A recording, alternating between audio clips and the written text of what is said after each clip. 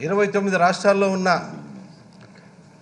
ఏ ముఖ్యమంత్రి కూడా నిర్ణయం తీసుకోకున్న నిర్ణయం మా ముఖ్యమంత్రి మా జగనన్న తీసుకున్నాడు అధ్యక్ష.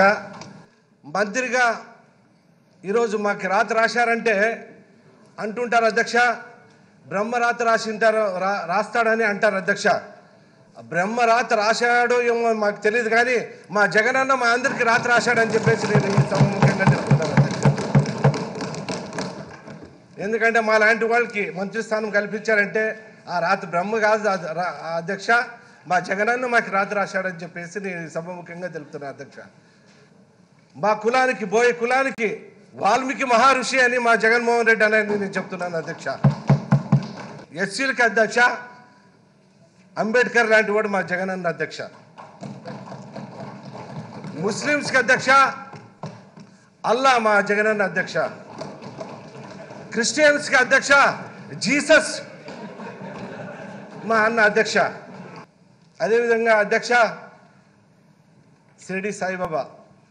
సబ్కా మాలిక్ ఏక్ అంటాడు అధ్యక్ష.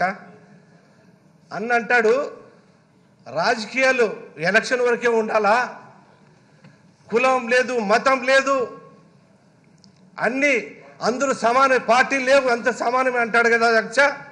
కాబట్టి ఆ స్థానం కూడా సాయిబాబా స్థానం కూడా సబ్కా మలిక్ ఏక్ హై అని చెప్పేసి నేను చెప్తున్నాను అధ్యక్ష. కాబట్టి అధ్య- అధ్యక్ష? ఇంతకీ మన బిల్ సంగతి చూడండి. ఆ, చెప్పేస్తాను చెప్పేస్తాను అధ్యక్ష ఇంత గొప్ప అవకాశం ఇచ్చినప్పుడు మా అన్న గురించి చెప్పకపోతే ఎందుకని ఇంకేముంది అధ్యక్ష?